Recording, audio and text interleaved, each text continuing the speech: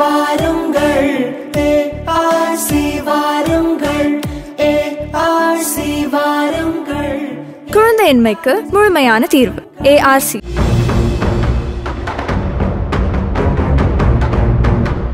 திராவிட கட்சிகள் வந்து இலக்கியம் மூலமாக தமிழுக்கு செய்த மோசமான விஷயங்களை வந்து துக்ளக்ல எழுதுறதா இருந்தேன். சின்ன பிள்ளை உங்களுக்கு தெரியும் கண்டிப்பா. அதனால தான் நான் கேட்கிறேன் அந்த கேள்வியை. இன்றைக்கு இருக்கக்கூடிய இந்த ஐம்பது ஆண்டு கால இடைவெளியில் இவர்கள் சேர்த்து குவித்திருக்கக்கூடிய பணத்தினுடைய மதிப்பீடு உங்களுக்கு தெரியுமா? இவற்றை எதன் மூலம் இவர்கள் சேர்த்தார்கள்? தமிழை சொல்லி தமிழ் இனத்தை சொல்லி தங்கள் நலனை வளர்த்து கொண்டவர்கள் இவர்கள். அடுத்த முதல்வர் என்கிற கனவோடு ஸ்டாலின் வலம் வந்து கொண்டிருக்கிற நேரத்தில் ரஜினிகாந்தினுடைய அரசியல் வருகை அவருடைய கனவை கலைத்து விடுகிறது. ரஜினிகாந்த் அவர்களுக்கு ஒரு முதலமைச்சர் நாற்காலியில் அமர்ந்து இந்த நாட்டை நிர்வகிப்பதற்கான ஆளுமை இருக்குன்னு நம்புறீங்களா? ஒரு ஒரு இளைஞனின் கேள்வி ஒரு மனிதனை உணர்ச்சி வசப்பட மாத்தி வந்து நீங்க எத்தனையோ கேள்விகள் வரும். மக்கள் எத்தனை நேருவை விட. உணர்ச்சி வசப்பட்ட மனுஷன் இந்த நாட்டில் யாருமே கிடையாது. இந்திய அரசியலை மொத்தமாக தெரிஞ்சு வச்சுக்கின்னு என்னட்ட வந்து பேசுங்க? இந்த சமூக வலைதளங்கள் வளர்ச்சிக்கு பிறகு சமூக வலைத்தளங்களை பற்றி எனக்கு எந்த க பேச்சும் பேசாதீங்க. ரெண்டாயிரத்தி இருபத்தி ஒன்று ரஜினி ஆட்சிக்கு வருவாருங்கிற கணிப்பு சந்தேகத்துக்கு இடமில்லை. எழுதி வேணா வைத்துக் கொள்ளுங்கள். நான் வேணா கையெழுத்து போட்டு கொடுக்குறேன். ரஜினிக்கு எல்லா வகையிலும் அரசியல் விஷயங்களை முன்னாடி சோ இருந்தது மாதிரி இன்னைக்கு நீங்க இருக்குதா? நீங்களா பார்க்கிறோம். நான் என்ன பொறுப்பேன்? சமரசம் செய்து தேர்தல் கூட்டணிக்கு. சமரசம் அதாவது நான் சொன்னது ஒரு என்னை என்னை பேச விட்டுட்டு. சொல்லுங்க.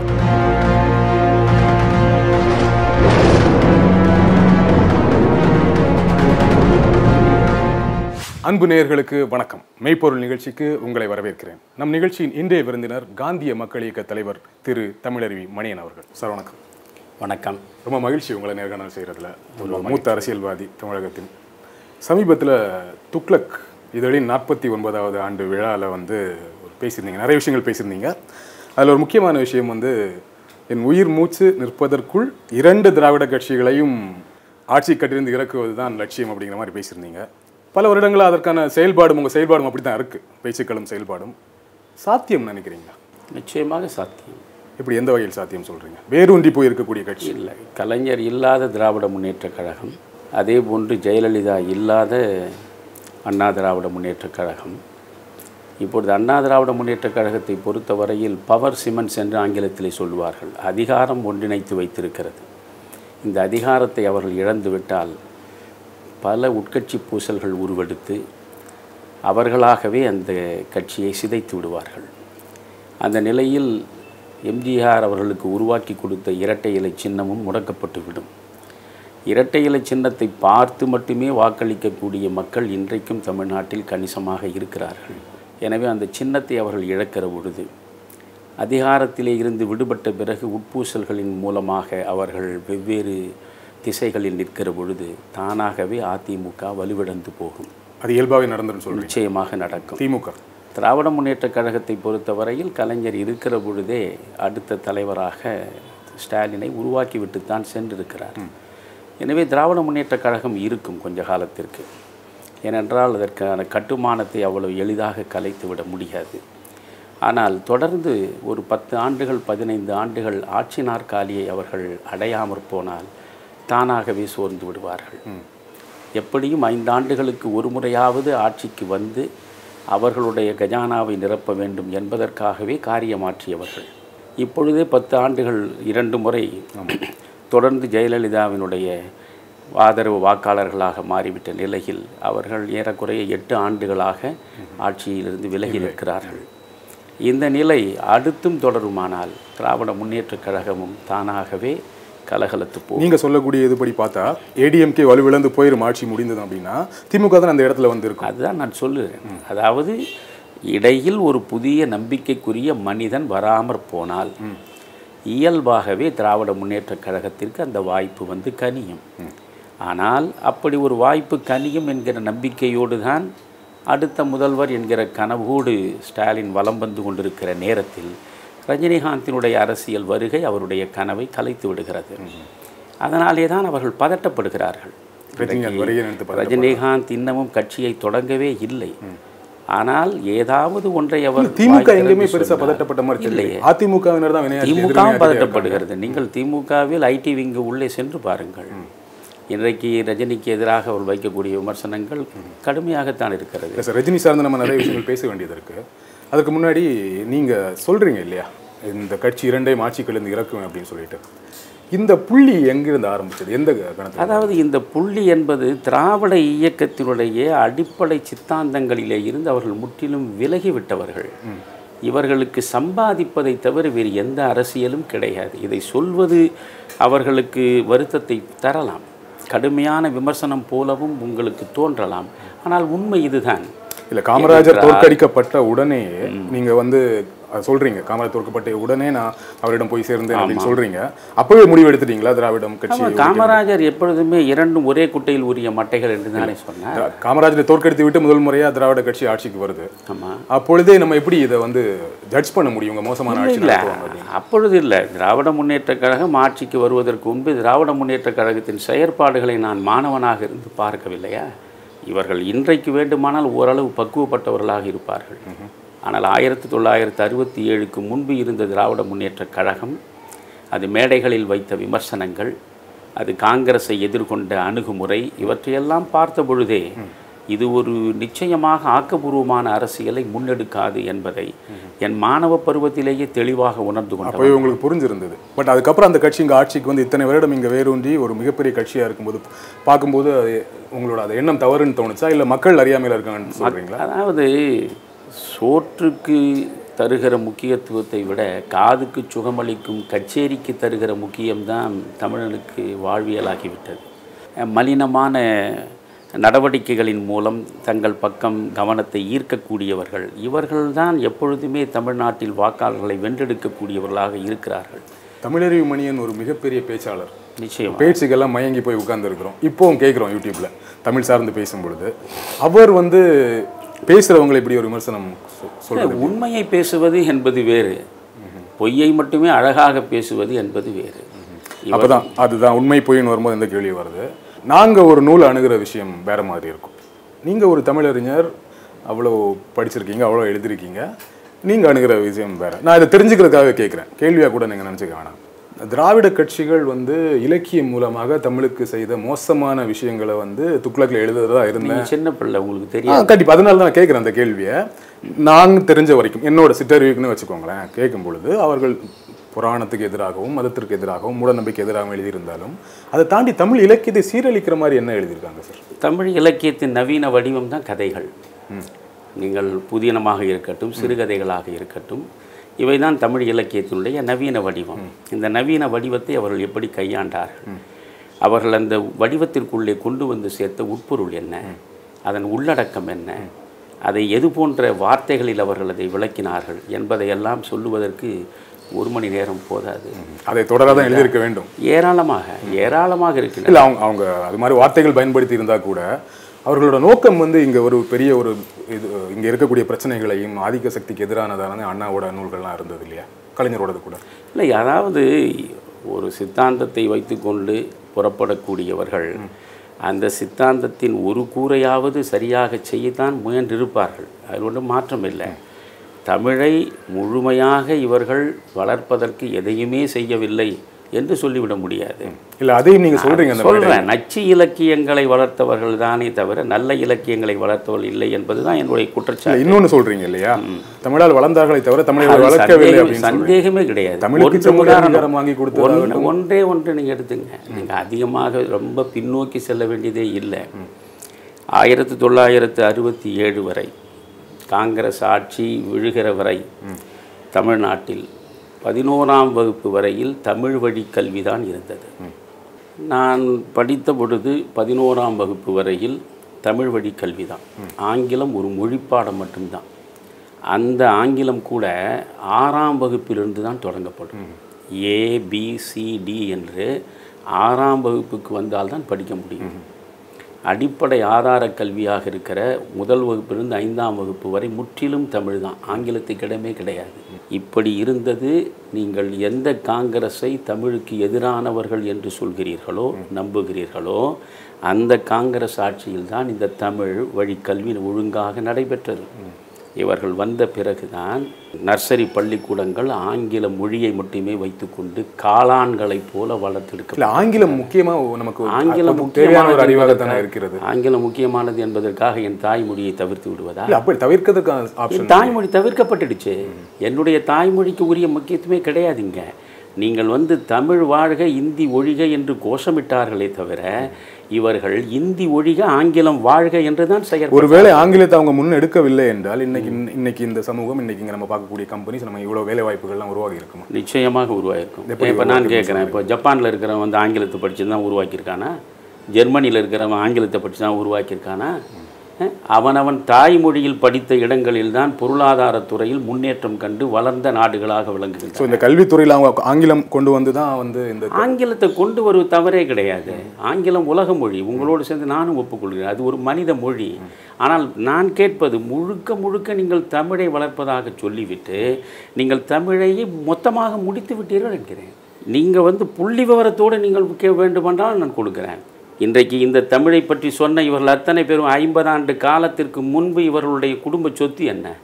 இவருடைய வாழ்க்கை பின்புலம் என்ன? இன்றைக்கு இருக்கக்கூடிய இந்த ஐம்பது ஆண்டு கால இடைவெளியில் இவர்கள் சேர்த்து குவித்திருக்கக்கூடிய பணத்தினுடைய மதிப்பீடு உங்களுக்கு தெரியுமா? இவற்றை எதன் மூலம் இவர்கள் சேர்த்தார்கள்? தமிழை சொல்லி தமிழ் இனத்தை சொல்லி தமிழர் நலனை சொல்லி தங்கள் நலனை வளர்த்து கொண்டவர்கள் இவர்கள். இவருடைய வாழ்வியலை சிந்திக்கிற பொழுதே அப்படி சொல்ல முடியுமா? அந்த அந்த பக்கத்தை நம்ம மறுக்க முடியாது. அது அதற்கான விமர்சனமும் எல்லாமே இருக்கு. ஆனா இங்கே சமூக தமிழ் சமூகம் முன்னேறியதில் அவங்க பங்கு அவங்க பங்கை மறுத்திட முடியுமா? அக்ராசனர் என்று இருந்ததை தலைவர் என்று மாற்றியது. புரிகிறதா? நல்ல தமிழ். நல்ல தமிழ் சொற்களை மேடைகளில் கொண்டு வந்து சேர்த்தது. இவற்றையெல்லாம் நான் மறுக்கவே இல்லை. புரியுதா? நல்ல தமிழை கொண்டு வருவதில் அவர்கள் உண்மையிலேயே சிறப்பாக செயற்பட்டிருக்கிறார்கள். இப்போ கெல்லீஸ் என்று ஒன்று இருந்ததை கிள்ளியூர் என்று ஆக்கினார்கள். பாரிஸ் என்பதை பாரிமுனை என்று ஆக்கினார்கள். முதலில் அது விமர்சனத்திற்கு உள்ளானாலும் இப்பொழுது சாதாரண பாமரன் கூட கிள்ளியூர் செல்ல வேண்டும் என்கிறான் பாரிமுனை செல்ல வேண்டும் என்கிறான். இப்படி தமிழ் படுத்தியது ஒரு ஒரு அளவுக்கு அதாவது நான் என்ன சொல்கிறேன் என்றால் ஒரு மொழியை வைத்துக்கொண்டு நீங்கள் அரசியலை அவர்களோட இன்னைக்கு இருக்கக்கூடிய அவங்களோட இந்த வளர்ச்சி வந்துக்கு தமிழை அவங்க பயன்படுத்திக்கிட்டாங்கன்னு சொல்ல வரீங்க. ஆமா இல்லை சந்தேகமே கிடையாது. நீங்க வந்து அதே நேரம் தமிழுக்கு செய்த அவர்கள் குறிந்த தொண்டை மறுக்கல. அது எப்படி மறுக்க முடியும்? இப்போ இந்த இரண்டு கட்சிகளையும் நீக்குவதற்கு நீங்க ரஜினிய ரஜினி என்கிற ஒரு மனிதர் வருவார் அப்படிங்கிறீங்க. ரஜினியை பத்தி நீங்க நிறைய பேசுறீங்க. அவரோட அவர் நல்ல மனிதர் அவர் பண்பான மனிதர் மக்கள் நலன் இருக்கக்கூடிய மனிதர் இந்த நாட்டிற்கு ஏதோ செய்ய வேண்டும் நினைக்கிற மனிதர்லாம் அதுல மாற்று கருத்து இல்லை. யார் வேணா அந்த எண்ணத்தோட இருக்கலாம். ரஜினிகாந்த் அவர்களுக்கு ஒரு முதலமைச்சர் நாற்காலியில் அமர்ந்து இந்த நாட்டை நிர்வகிப்பதற்கான ஆளுமை இருக்குன்னு நம்புறீங்களா? எடப்பாடிக்கே ஆளுமை இருக்கிற பொழுது ரஜினிகாந்துக்கு எப்படி அது பதிலா இருக்காது இல்லையா? எடப்பா- அதுதான் அவருக்கு. இருக்கு அப்படிங்கும்போது அதுதான் பதில். யார் வேண்டுமானாலும் ஆளலாம். இங்கே ஆட்சி நடத்துபவர்கள் அதாவது இந்திரர்கள் மாறுவார்களே தவிர இந்திராணி மாறுவதில்லை என்பதுதான் புராணம். உண்மையில் ஆட்சியை நடத்துபவர்கள் ஐஏஎஸ் ஐபிஎஸ் தான். நீங்கள் மிகச்சிறந்த ஐஏஎஸ் அதிகாரிகளை இனங்கண்டு நேர்மையான திறமை மிக்க மனிதர்களை இனங்கண்டு அவர்களை பக்கத்தில் வைத்துக்கொண்டு ஆட்சி நடத்திப்பார் என்னன்னா ரஜினிகாந்த் இத்தனை காலமா அவர் அவர் பேசி வந்த கூட்டம் வந்து ரசிகர் கூட்டத்தை மட்டும் பேசுவார் மேடைகளில் பேசுவார் அதுவும் சினிமா சார்ந்த வட்டத்தில் தான் பேசுவார். சமீப சில வருடங்களாக தான் அவர் வந்து பத்திரிகையாளர்களை மீட் பண்றதே பார்க்கணும் சினிமா தவிர்த்து. முன்னாடி பிரஸ் மீட்லாம் கொடுத்துருக்காரு அதுவாக தான் இருக்கும் அறிக்கையாக இருக்கும். பத்திரிகையாளர்களை கேட்கும் பொழுதே கேள்விக்கு வந்து முன்னுக்கு பின் முர- முர- முரணான பதில்கள் சொல்றாரு. காலையில் ஒரு பதில் சொல்லிட்டு ஈவினிங் மாத்துறாரு.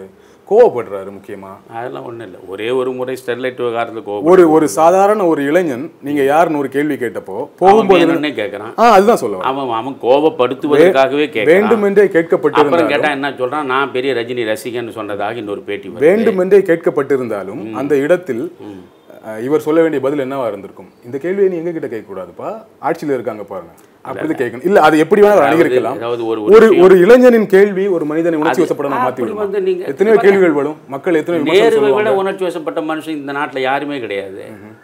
உங்களுக்கு இந்திய அரசியலை மொத்தமா தெரிஞ்சு வச்சுக்கின்னு என்னட்ட வந்து பேசுங்க. நேரு நீங்க ராஜ நேருவை எல்லாம் ஒப்பிடுகிற போது ரஜினிகாந்த் சாதாரண மனிதர். நேருவே வந்து எடுத்ததற்கெல்லாம் உணர்ச்சி வசப்பட்டு கோவப்படக்கூடியவர். காமராஜர் எடுத்ததற்கெல்லாம் உணர்ச்சி வசப்பட்டு கோவப்படக்கூடியவர். எங்கே உண்மை இருக்கிறதோ அங்கே வந்து போலித்தனம் இருக்காது. அவர்கள் எதையுமே இப்பொழுது இப்போ நீங்க தினகரன் இருக்காரு. அவர் நீங்க எத்தனை கேள்வி கேளுங்க? சிரிச்சினே பதில் சொல்லுவாரு. அது வந்து வஞ்சகமான வாழ்க்கை முறை அது. நான் ஒரு விஷயம் சொல்வதற்காக சொல்ல புரியுது. ஒரு விஷயம் சொல்றீங்க சார். நீங்க சொல்ற அந்த கருத்தை நான் உடன்படுறேன். தொண்ணூத்தி ஆறுல ரஜினி அவர்கள் வந்திருந்தா ஆட்சியில் அமர்ந்திருக்க முடியாது அப்படின்னு சொல்றீங்க. அதை நானும் அதுக்கு நானும் உடன்படுறேன். ஆனா அப்பொழுது அப்பொழுதிலிருந்து அவருக்கு இருந்த வரவேற்பு என்பது வேறு. மக்களிடம் இருந்த எதிர்பார்ப்பு என்பது வேறு. இப்போ இப்போ கவனிக்கிறீங்களா? இந்த சமூக வலைதளங்கள் வளர்ச்சிக்கு பிறகு சமூக வலைத்தளங்களை பற்றி என்னோட தயவு செய்து பேசாதீங்க. ரஜினி அவர்களோட இல்ல நான் தயவு செய்து சொல்றேன். சமூக வலைத்தளங்கள் பற்றி எனக்கு எந்த க பேச்சும் பேசாதீங்க. ஏன் அது எந்த தாக்கத்தை ஏற்படுத்துதான்னு ஒரு நொடி கூட அதை பார்க்கிறவன் கிடையாது. நான் எதுக்கு சொல்றேன்னா- நான் சொல்றது அவன் அவன் சுய அரிப்பை சொரிந்து கொண்டு சுகம் தேடுவதற்காகவே சமூக வலைத்தளங்களில் பல பேர் எழுதி கொண்டிருக்கிறார்கள். புரிகிறதா இப்போ நான் ரஜினிகாந்தை வந்து முன்னிலைப்படுத்தினேன் என்று வைத்துக் கொள்ளுங்கள். ரஜினிகாந்தை முன்னிலைப்படுத்தினால் தமிழறிவு மணியனுடைய அரசியலுக்குள்ளே இருக்கிற முரண்பாடுகள் என்ன? தமிழறிவு மணியன் இதை செய்வது எந்த வகையில் தவறானது? இதை விமர்சிப்பதற்கு சகலருக்கும் உரிமை உண்டு ஜனநாயக நாட்டில் ஆனால் அதற்குள்ளே சென்று பாருங்கள்.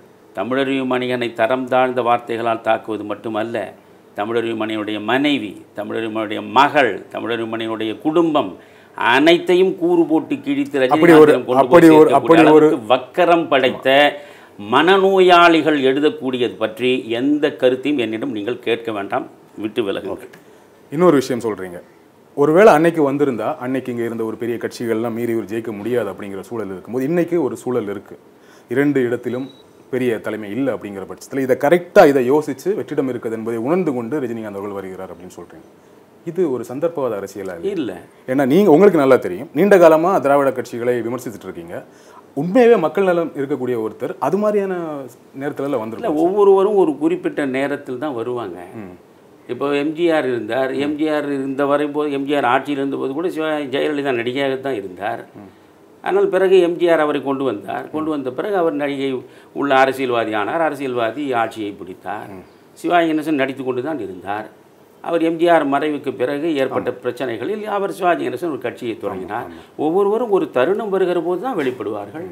அதற்காக ரஜினிகாந்த் வந்து இப்பொழுது இந்த கட்சியை தொடங்குவது இந்த அவர் என்ன சொல்கிறார்? சிஸ்டம் கெட்டுவிட்டது என்கிறார்.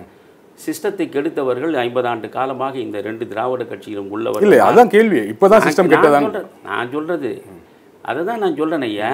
அன்றைக்கு அவரால் சாதிக்க முடியாது. இதை வந்து மற்றவர்கள் மறைச்சு பேசலாம்.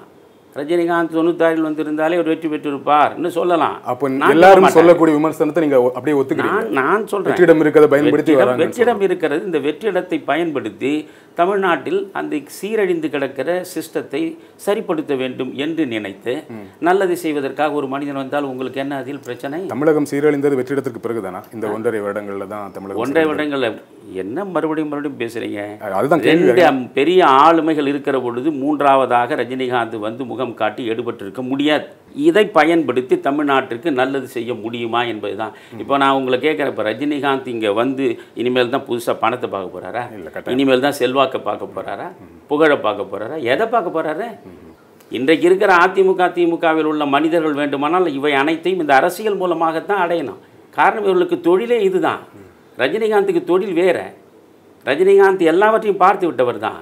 எனவே ரஜினிகாந்துக்கு அரசியலுக்கு வர வேண்டும் என்ற அவசியம் கூட கிடையாது. கமல் அவர்கள் கட்சி ஆரம்பிச்சு ஆரம்பத்துல ரஜினிக்கு எதிராக கருத்து சொல்லும்போது நீங்களே விமர்சனம் பண்ணி நியாயமான விமர்சனமா இருந்தது. ரஜினிக்கு எதிரான கருத்து வரும்பொழுது இப்பொழுது இரண்டு இருவரும் இணைந்து விடுவார்களா அப்படிங்கிற ஒரு ஐயம் ஏற்படுது. அது யூகமாக கூட இருக்கலாம். இப்போ கமல் அவர்கள் வந்து நாடாளுமன்றத்தில் அவர் வாங்கிய வாக்குகள் பார்த்தீங்கன்னா நகர்ப்புற வாக்குகளாக இருந்தது. அவருக்கு அவரோட படம் எப்படி ஏ சென்டரில் நல்லா போகுமோ. அது மாதிரி அவரோட வாக்குகளும் இருந்தது. இப்போ ரஜினி அவர்கள் வந்து ரஜினி அவர்களோட வாக்கு வங்கி எந்த அளவுக்கு இருக்கணும் உங்களுக்கு ஏதாச்சும் எந்த பகுதிகளில் இருக்கும்? ரஜினிகாந்துக்கு தமிழ்நாடு முழுவதும் இருக்கிறது. தமிழ்நாடு முழுவதும் மேலிருந்து கீழ்மட்டம் வரையில் அனைத்து மக்களிடமும் வாக்குகள் இருக்கின்றன. பொறுமையாக இருங்க. இப்பொழுது நான் வந்து ஒவ்வொரு முறையும் ஒரு கணிப்பை சொல்லுகிற போது அவை எல்லாம் நடந்திருக்கின்றன பழைய வரலாறுலாம் இல்ல, விட்டுருங்க. இப்போ ரெண்டாயிரத்து பதினாறுல ஜெயலலிதா வரவே மாட்டார் என்று தான் அனைவரும் சொன்னார்கள். நான் ஒரே ஒரு ஆள் தான் சொன்னேன். நூற்றி முப்பது இடங்கள் வெற்றி பெறுவார். அந்த கணிப்பு எல்லாம் எப்படி மெய்யோ அதுபோல்தான் ரஜினிகாந்த் குறித்த கணிப்பும் மெய். உங்க கணிப்பு ரஜினிகாந்த் கொடுத்த கணிப்பு ரெண்டாயிரத்தி இருபத்தி ஒன்று ரஜினி ஆட்சிக்கு வருவாருங்கிற கணிப்பு சந்தேகத்துக்கே இடமில்லை. எழுதி வேணா வைத்துக் கொள்ளுங்கள். நான் வேணா கையெழுத்து போட்டு கொடுக்குறேன். ரெண்டாயிரத்தி இருபத்தி ஒன்று ரஜினி ஆட்சி அமைப்பார்னு உறுதி சந்தேகமே ரெண்டு விஷயம் சொல்றீங்க. ஒன்று நீங்க சொன்ன மாதிரி இப்போ இப்போ சொன்னீங்க தமிழகம் முழுக்க அவருக்கு வாக்கு இருக்குதுங்க. ஆமாம் இன்னொரு விஷயம் சொல்றீங்க அப்பழுக்கற்ற வேட்பாளர்களை தேர்ந்தெடுத்து. நிக்க வைப்போம்னு சொல்றீங்க. இன்னொரு இடத்துல சொல்றீங்க கூட்டணியும் அமைக்க சூழலுக்கு ஏற்ற மாதிரி கூட்டணியும் அமைப்பேங்கிறீங்க. கூட்டணி அமைச்சாங்கன்னா ஆட்டோமேட்டிக்கா அந்த அப்பழுக்கற்ற வேட்பாளர் அப்படிங்கிற அது அது அந்த கேள்விக்குறி தான் அது கேள்விக்குறி. நான் அது மறுக்கவே இல்லை. அப்படி ஒரு கூட்டணி அமைத்தாலும் ரஜினிகாந்தினுடைய கட்சியின் சார்பாக நிறுத்தப்படுகிற வேட்பாளர்கள் இருக்காங்க இல்லையா? அந்த வேட்பாளர்கள் அப்பழுக்கற்றவர்களாக இருப்பார்கள். அதுக்கு நான் உத்தரவாதம் கொடுப்பேன் நாம அப்பழுக்காரர்களா இருந்தா அப்பழுக்கு இருக்கவங்க கூட கூட்டணி சேர்ந்துக்கலாமா? இல்லை இல்லை. சிலதை வந்து நீங்கள் எத்தனையோ சமரசங்களை செய்து கொண்டு ஆயிரத்தி தொள்ளாயிரத்தி அறுபத்தி ஏழுல அதாவது நான் நான் கேட்குறது நீங்கள் ராஜாஜியை காலம் பூராவும் குள்ளுகப்பட்டர்னு சொல்லிட்டு அந்த ராஜாஜியை பக்கத்தில் வைத்துக்கொண்டு இந்த பக்கம் மார்க்சிஸ்ட் கம்யூனிஸ்டுகளை பக்கத்தில் வைத்துக்கொண்டு அறுபத்தி ஏழில் தேர்தல் நின்று அண்ணா வெற்றி பெற்றால் அதற்கு பெயர் ராஜதந்திரம். சமரசம் செய்து என் ஆட்சிக்கு நான் என்னுடைய நோக்கம் என்பதுதான் முக்கியம். உங்க நோக்கம், என்னுடைய நோக்கம். தமிழ்நாட்டின் நலன். தமிழகத்தினுடைய நலன். தமிழகத்திற்கு நலன் ஆற்ற வேண்டும் என்றால் நான் ஆட்சி கட்டில் வந்து அமர வேண்டும். நான் ஆட்சி கட்டிலுக்கு அமர்வதற்காக நான் சில சில நெளிவு சுழிவுகளை எடுத்துக்கொள்வதில் எந்த பிரச்சனையும் இல்லை. உலகத்தின் வரலாற்றை எந்த பக்கம் திருப்பி பார்த்தாலும் தேர்தல் கூட்டணி சமரசம் என்பது எப்படி நம்ம ரஜினிகாந்த் ஒரு மாற்று கட்சியா மா- முன்னிறுத்த மாற்று முடியும்? எல்லா கட்சி- கட்சியும் செய்யறது அது தேர்தல் கூட்டணி என்பது நீங்க இந்த இன்னைக்கு சிவசேனாவும் காங்கிரஸும் என்சிபியும் வச்சிருக்கிறத விட ஒரு சந்தர்ப்பம் இல்ல, அதெல்லாம் தவறு, கூட்டணி இது. கிடையாது. அது மாதிரியான கூட்டணி இங்கே கிடையாது. நான் சொல்வதே புரிஞ்சுக்காம அவசரப்பட்டு உங்களுக்கெல்லாம் இந்த ஏன் நான் இந்த ஊடகங்கள் முன்னால் வந்து உட்கார்றது இல்லைன்னு சொன்னேன் நீங்கள் அத்தனை பேருமே ஒரு இல் கன்சீவ்டு நோஷனோட தான் வந்து உட்கார்ற ஆளுங்க. ப்ரீ கன்சீவ்டு நோஷன் இல் கன்சீவ்டு நோஷன் ஏற்கனவே உங்களுக்கான ஒரு கலரிங் உங்களுக்கு ஒரு பார்வை இருக்கும். அந்த பார்வையோட வந்து அடுத்தவன் எரிச்சலை பயன்படுத்திக்கிறது தான் உங்கள் நோக்கம். இல்ல அது மட்டுமே. நோக்கம் இல்ல நான் என்னை பொறுத்தவரை தெளிவா இருக்கேன். நான் எனக்கு இது போன்ற கிடையாது. இது என்ன நியாயம் நான் கேட்கிறேன். சமரசம் செய்து கூட்டணிக்கு. சமரசம் அதாவது நான் சொன்னது ஒரு என்னை என்னை பேச விட்டுட்டு பேசணும். நான் சொல்றது ரஜினிகாந்தின் முந்தைய வேட்பாளர்கள் ரஜினிகாந்த் தானே நேர்மையை பத்தி பேசுறாரு? ஆமா. ரஜினிகாந்த் தானே நல்லாட்சி தரப்போறேன்னு சொல்றாரு. ரஜினிகாந்தினுடைய வேட்பாளர்கள் குறை உள்ளவர்களாக இருந்தா என்ன கேளுங்க. ஆனால் அந்த வெறுமனே நீங்க வந்து ஒரு ரஜினிகாந்த் ஒரு முப்பது விழுக்காடு வாக்குகளே இருப்பதாக வைத்துக் கொள்ளுங்க ஒரு பேச்சுக்கு. நீங்க ஒத்துக்க மாட்டீங்க எனக்கு தெரியும்.